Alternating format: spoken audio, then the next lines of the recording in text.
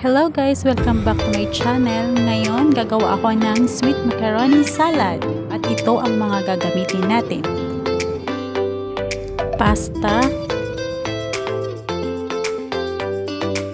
condensed milk, any brand po, cream, any brand din, mayonnaise, um, mas pinili ko ito kasi mas mura kaysa sa ladies choice. Ayan, kaong.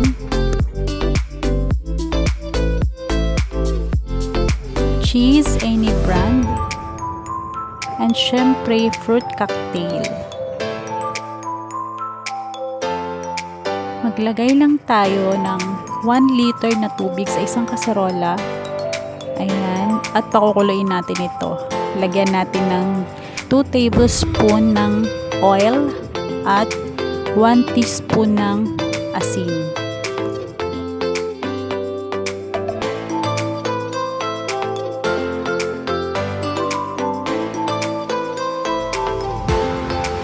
Isa lang lang natin ito at antay natin kumulo. Ayan, kumulo na siya at inilagay ko na ang ating pasta. Halo-haloin lang natin para hindi masunog o ma-overcook yung nasa ilalim. At habang hinihintay nating maluto yung ating pasta, salaan natin yung ating fruit cocktail at yung ating um, kaong. Ay, hindi pwedeng isama dito yung mga juice nila.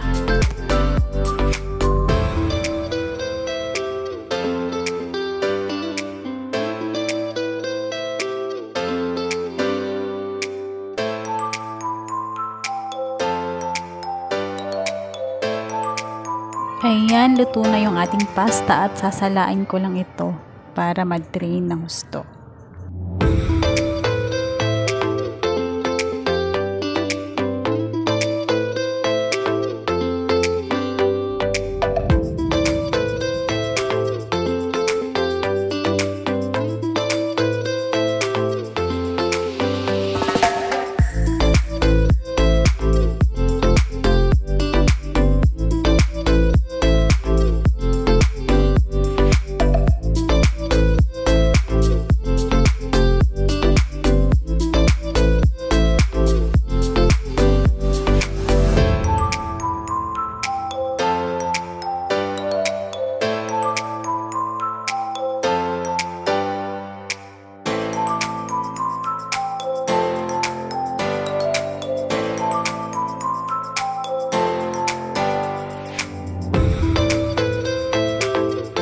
Na-drain na ng gusto yung ating pasta, ayan, paghahalo-haloin na natin ang ating mga ingredients.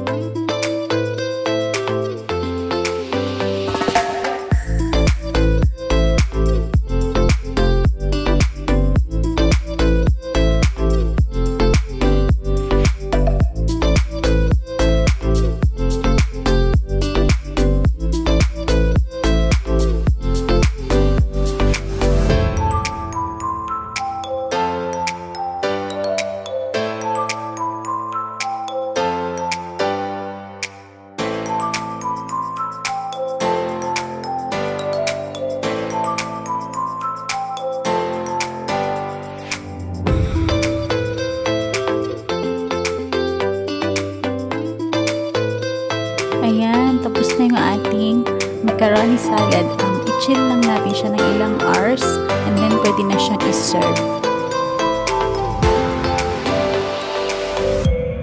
Thank you for watching. See you in my next vlog. Don't forget to subscribe and click the notification bell. Thank you.